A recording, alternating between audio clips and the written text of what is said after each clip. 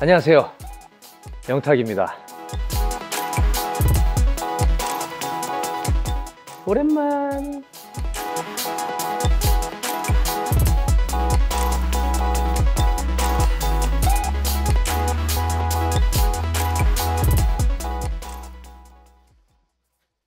Happy birthday. 아, 생일이네요. 또 한 살 먹었네요. 그래도 생일날 여러분들과 처음으로 이곳에서 인사를 나눌 수 있게 되어 행복하게 생각합니다. 아, 이곳은 이름하여 탁 스튜디오. 반갑습니다.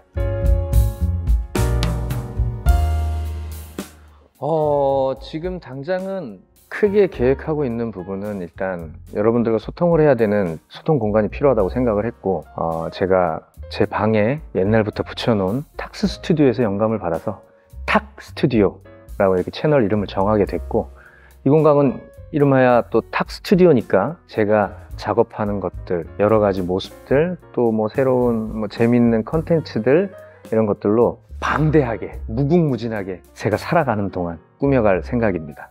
어, 일단 당장은 이 영상과 어, 조만간에 발매될 싱글 앨범의 티저, 싱글 앨범의 뮤직비디오 공개가 우선 되겠네요. 어, 그 이후에 또 여러 가지 영상들, 또 커뮤니티에서 여러 소통들로 여러분들과 인사를 나눌 생각입니다. 어, 카페 이름도 고민을 많이 했는데 탁 스튜디오라고 정할 수 있었던 이유는 이 유튜브 채널과 마찬가지로 내 공간에 여러분들이 오셔서 이런저런 추억들을 많이 만들고 함께 걸어갔으면 하는 마음으로 만들게 되었고 내 공간에 자연스럽게 놀러 오시라 얼마든지 오세요 라는 마음으로 정했으니까 탁 스튜디오 우리 함께 잘 꾸며가 봅시다 오케이?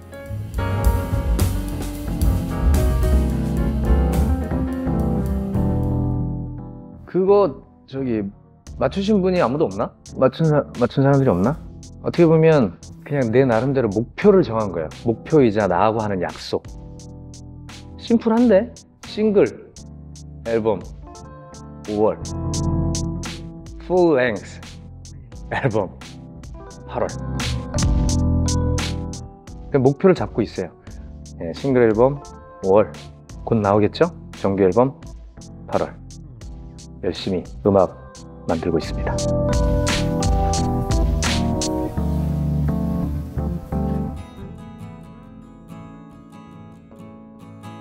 조만간 나올 오랜만에 싱글 앨범 제목은 네 편이야. 네 편이야. 누구나 그렇듯이 혼란스러울 때 뭐 어디로 가야 될지 방향을 못 잡고 헤매일 때 내 편이 있다면 어디든지 갈 수 있다. 어디든지 도달할 수 있다. 닿을 수 있다.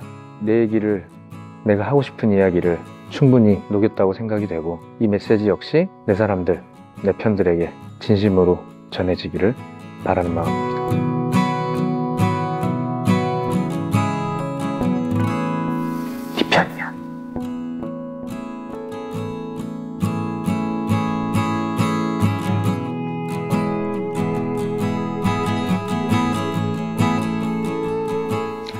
딱 한 소절.